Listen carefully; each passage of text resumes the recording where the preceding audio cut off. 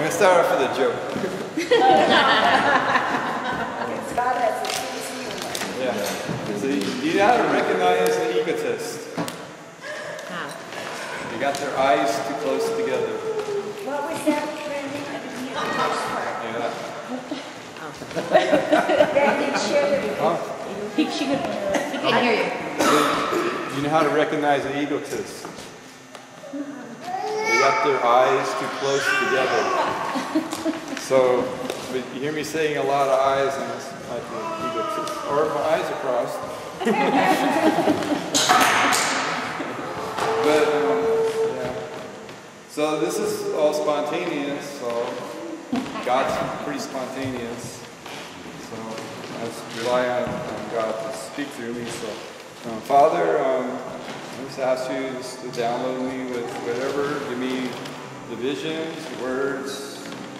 Um, I know my life story. Uh, I, know, I know a few scriptures, so I know if you can use a donkey, you can use me. So, so go ahead and use me. So, um, so the, the book of Revelation says um, they overcome Satan by the blood of the Lamb and the word of our testimony. So, blood of the Lamb gives us salvation, and my testimony is because through that salvation, I overcome things. And my story is my story. No one, I can't conjure it up. It's my life. You know, you can say, I can go into theology or what I think the Bible says, and you can, you can argue with, you can't argue about my life because I know my life. And these are things I've faced and gone through and done. And um, so what I'm going to do is like a real fast life story. And I might do, depending where God leads me, a event in my life that shows how much God loves me. Okay. So, um, you know, born, of course. And, you know, um, I was raised Catholic, pretty much. And went to Catholic school. And I think a difference in my first few years in, in being in Catholic school was I had a relationship with God to where I could go to heaven as a kid, innocently, without being conjured up or doing a lot of whatever. Um, I understood what surrender was, forgiveness was, even though I didn't need it that much as a kid, but I, I saw the abandonment and I'd go into heaven and come back and knew what this love from above was. Like, wow, tremendous. Made me feel whole and complete. And um, then through you go through get raised by your parents through the years. Um, you get introduced to like legalism.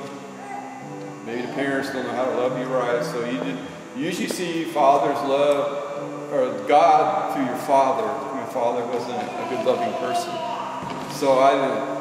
I knew in my latter years that God was more of a I'll spank you or you're being disciplined for doing wrong. I didn't know about the love. I just knew about the discipline, you know, the meanness. So I was kind of lacking the balance of what God really is. So, but then I got an alcoholic dad, my mom too, but she came, she, it was hard to see it in her. My dad was full blown, but he's a functioning alcoholic. He ran a business. And I was like, it's like, how, how does a person do that? Um, I found out later I couldn't do that, but because I'm a really bad drunk. and a few other things, but um, okay. So I think it's around. I was in high school, and my dad started going to church as a drunk. At that, it wasn't a Catholic church; it was Assembly of God. So now we're introduced to another dimension of God. You know, more, more of the Bible, and less of tradition. And um, then he gets saved. But then he gets divorced too because there's a mixture of things going on all at once. So I'm raised by my mom. Um, a funny thing happened. It's really interesting. Is before my parents divorced, they said, uh, we're at a church meeting, and the guy's calling up for healing. I had for healing, yeah. And I didn't want Jesus because I was in high school and there's the sex, drugs, and rock and roll thing, and there's Jesus. This sounds kind of interesting.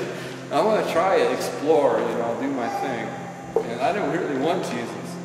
Matter of fact, I didn't think Jesus was really that real. I didn't think the devil was real either. I started making my own opinion, all my own decisions, my own judgment. Okay, um, so I went up to get healed for a hip, but I didn't want to get healed because I didn't believe that Jesus could heal me. One, two, if he did heal me, that was going to mess up my whole world because that means he's real. and he healed me. That so messed up. Now I'm now I'm in a position I'm running from God pretty much.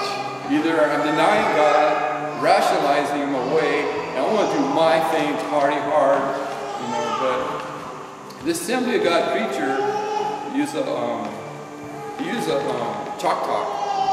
So he get he penetrated my eyes through his drawings. He taught every single day. He every single day. He preached every single day. He was uh, a traveling missionary type, type of guy. And so he left. He had the book of Revelation drilled into me to where I was always in fear because he took. He's telling what all the nations should do, what the Antichrist is going to do. Um, so, like the Shah was in office, and uh, people were getting killed. Um, the name Allah, this nation's supposed to do this, and there's Russia, and they're a threat to America. So I was always like, this book of Revelation thing, I don't like it, man, because it's like it's telling me the news, you know, and the news is start happening. I'm like, God, this ain't good. so, God, so I'm making deals with God. God, I'll party. Just give me one more day or a few more years, and I'll quit. this, let me experience this a little bit more, and all, but at the same time, like, please don't come back. I'll, I'll give my life back to you. And then, um, so, sure enough, I get, I had a born again experience in my bed over a guy that kind of like haunted me because he got born again, my party friend, and he left a track. I get the Bible, I know something's wrong in my life. I really don't like the way I'm feeling. I'm higher than a kite. And I open up the Bible and the track feels, falls out and I read it and it says, oh, uh, ask for forgiveness of your sins and ask Jesus into your life.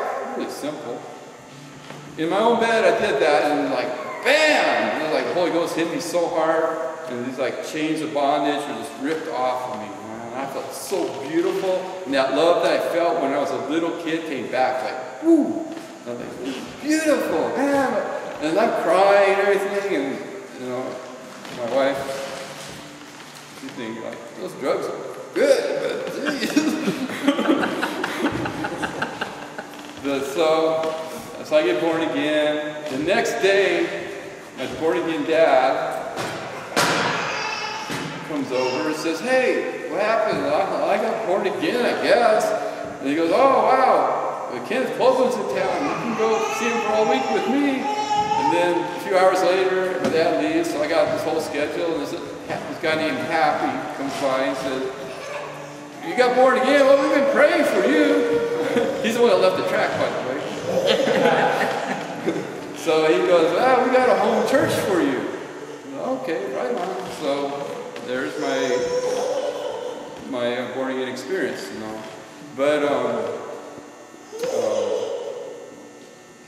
I was experiencing a lot of stuff, you know, tongues interpretation, miracles, signs, wonders, all this stuff was happening, and um, but there's a part of me that didn't change, where I didn't clean house. I didn't repair the wounds of the past, things that my dad, I hear from my dad and my mom, and these scars and hurts and pain, all that kind of stuff. So, um,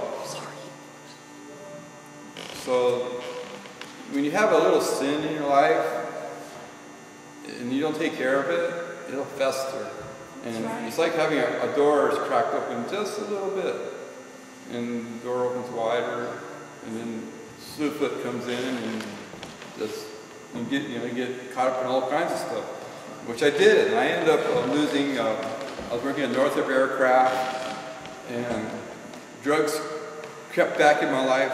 But this time, was way worse than the other time because the other time I was a functioning drug addict, alcoholic. I was keeping a job. This time I went to the street. Just, and I'm, you know, I'm either in three positions: running from God, doing nothing for God, or running with God. And um, so I went through hell, pretty much. In the of hell, I met my wife. and um, she gets born again because of me, but I don't want to serve God. I want her to be going to heaven, but so, but then I get born again. I mean, I rededicate my life, so now we're like kind of like paralleling. But I'm still, I'm still got a lot of things to change, and I haven't changed. And I still haven't hit it a low too. I think the the real big one is I didn't hit that low, the life-changing low. I've hit a lot of lows. I went to prison, and almost got shot, stabbed, whatever, all that kind of stuff. You know, the war stories. Um, but but I wasn't changing like long enough or something. But it's really weird. Just like three years ago, I could say, um, for like 15 years on paper, there was nothing about me doing wrong. But, because I fell off the wagon, and I had some same time like five years, I fell off the wagon, I started partying again. Um, and every time I party, it snowballs really fast, destruction. And so, um, So I did a little petty theft thing, you know, when you're on drugs and alcohol and trying to keep yourself high, use all those stupid things. I did a little petty theft thing, got caught, went to court. The judge says, you need a lawyer. I thought, for this little stupid little crime?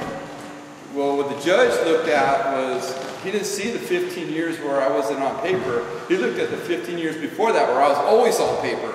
I mean, I got like a rap sheet like that, you know, like how many times I went to jail, prison, all the things I did wrong, the things they could have got me for, the things they didn't get me for.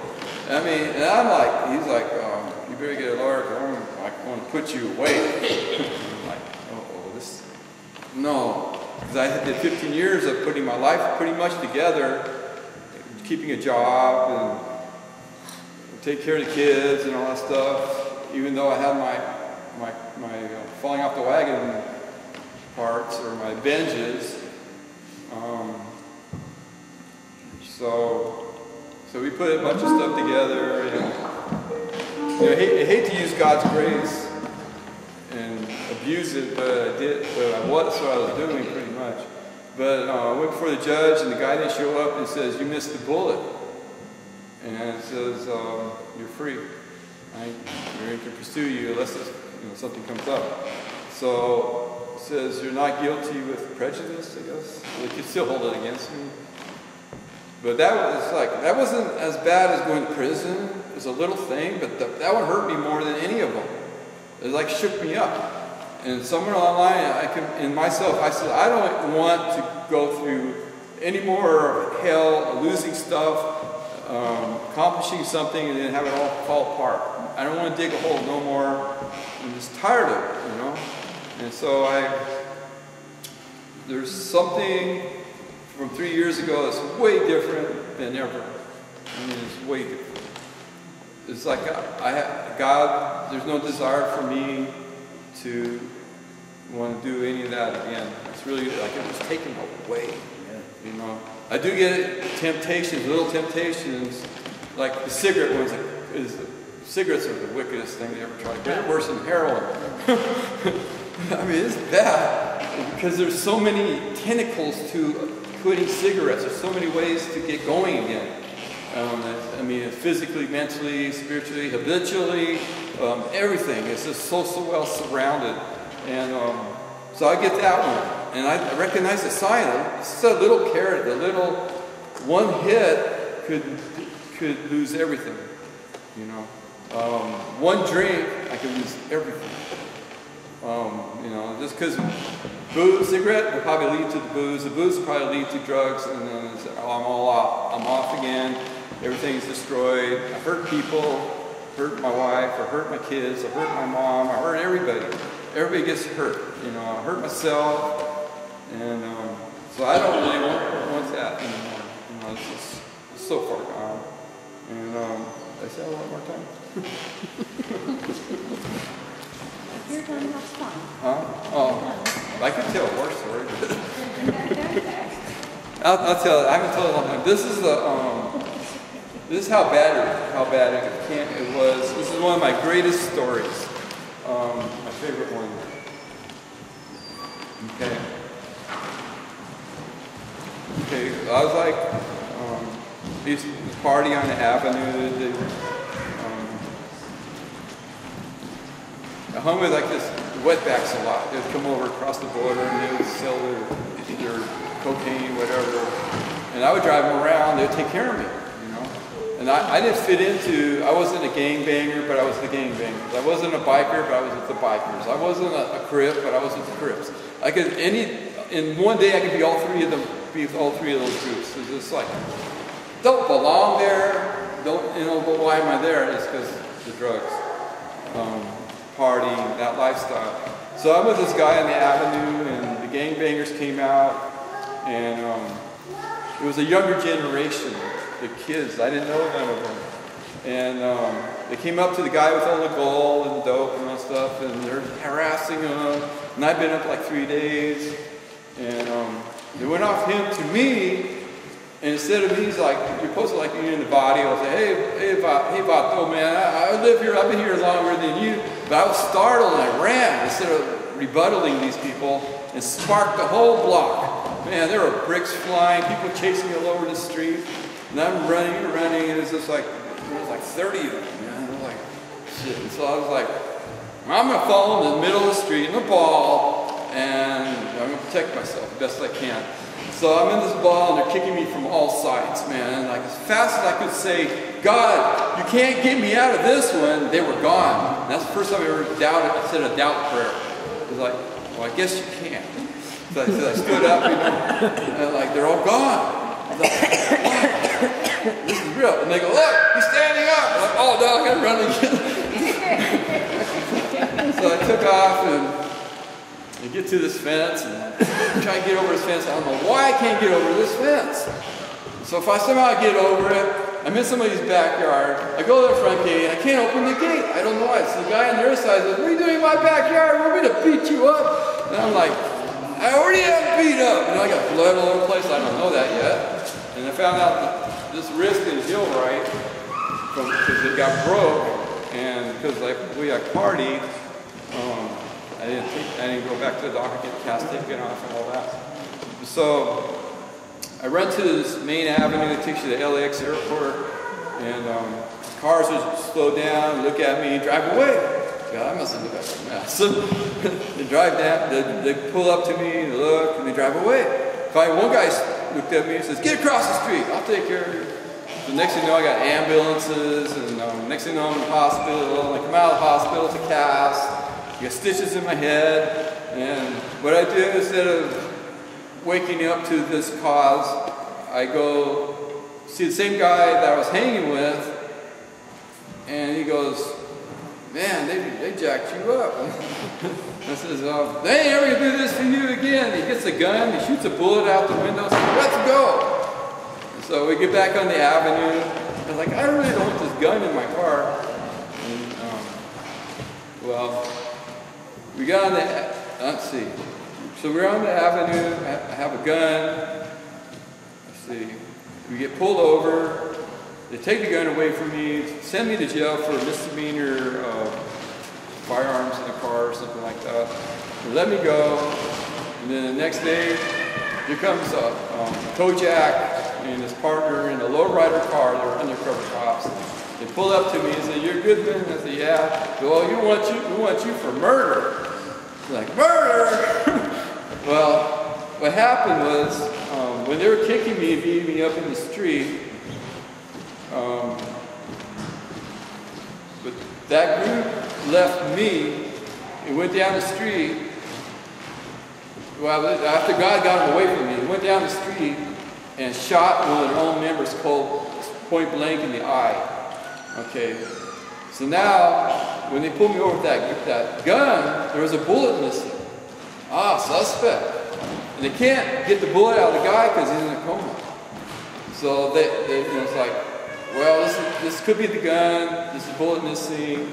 The guy was out there at this time, so they did a bunch of um, uh, record keeping. and found out I was in the hospital when the shooting happened. So that's what got me off the murder charge.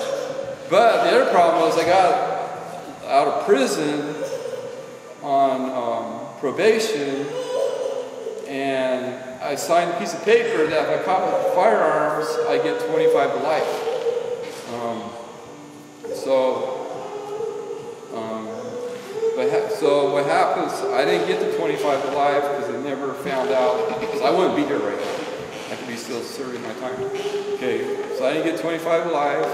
One, two. Um, I didn't get the murder charge, and then like a year later, God showed me what really happened. He goes, um, "You're such an idiot," and um, I had to literally have you kicked off the street because this guy had a gun and would have used it on you. And so I got beat up, kicked off the street literally, and put in a safe place. So I would have been dead because that gun was in that group. And um, when I said, God, you can't get me out of this one, that's why He protected me from all that. And He protected me from getting a bullet in the head, um, 25 lives, and a whole bunch of other stuff, you know. But that's God chasing me down, you know, loving me that much, you know. And um, I mean, I don't really want to go to, the, you know, it's too much, you know. I mean, so that basically that's my story. Thank you.